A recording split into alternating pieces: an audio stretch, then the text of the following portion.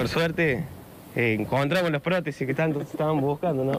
Sí, todavía me dura la, emoción y la piel de gallina de conocerlo a, Joaquín y la verdad es que nada, eh, feliz de haber encontrado las prótesis por lo que significan para mí desde el deporte, desde lo social, desde un montón de, aspectos espirituales, por donde es, pero también muy feliz y muy esperanzado por encontrar gente como Joaquín y gente con una solidaridad y un corazón que hizo que en el medio de la noche, laburando, complicado, apurado, como trabajan los delivery hoy en día, eh, se detuviera al ver algo que no sabía bien qué era y lo recogiera y al rato ver la otra y decir esto es de alguien, le pertenece a alguien y, y nada, tomarse ese tiempo y después estar atento a, que apareciera el, el dueño, ¿no? Había unas piernas pero faltaba un cuerpo de ahí para arriba que, que tenía que aparecer de alguna manera. Cuando eh, dejo el pedido, tomo retorno hacia mi lauro.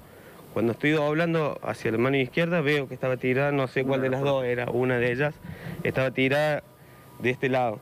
Y mm, una señora que estaba desde la ventana de la casa le pregunto, no vio nada, no sabe si esto es de alguien, cosa. Me dice, no, no. Me dijo que me vaya.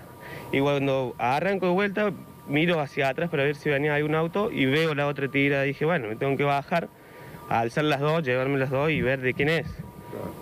Y bueno, por suerte, mi compañero de trabajo y cocinero, Fabi, eh, pudo comunicarse con él, lo contactó gracias a... la no sabían No sabíamos de quién era ni, ni para qué servían, porque Claro. sabíamos que eran unas prótesis a simple vista nomás. Imagínate, cuando lo leo, los nervios, la ansiedad y también un poco de miedo, ¿no? Porque en estas cosas a veces nos da un poco de temor.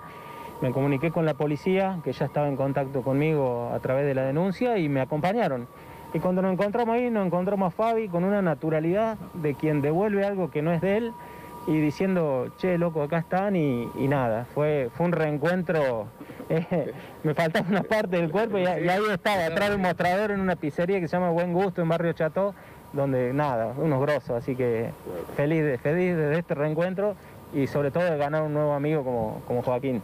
Hace poco me hice hacer una remera para correr y quiero que él tenga una, eh, Ah, si te parece. Fantástico, te va a llevar de regalo la retribución con... Creo que lo- somos, somos imparables, así que me, me- Muchísimas me gracias. gustaría. Tiene mi apellido, pero se lo puedes cambiar Bien, atrás en la no. espalda con la 11 que es la que jugaba, con la que jugaba el fútbol antes del accidente. Así que nada,